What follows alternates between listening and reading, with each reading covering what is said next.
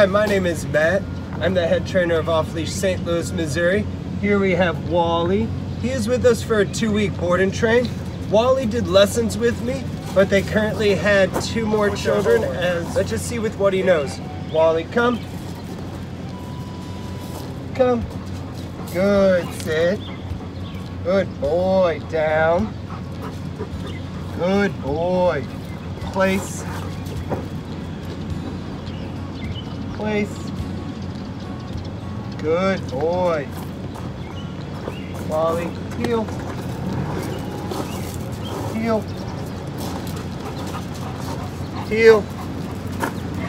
So as you can see, he knows some of his obedience, but it's not very strong. Um, he has problems with pulling on the leash, jumping, and knocking over their children, and um, eating random things throughout the house. Check back in with us in two weeks and see his amazing progress.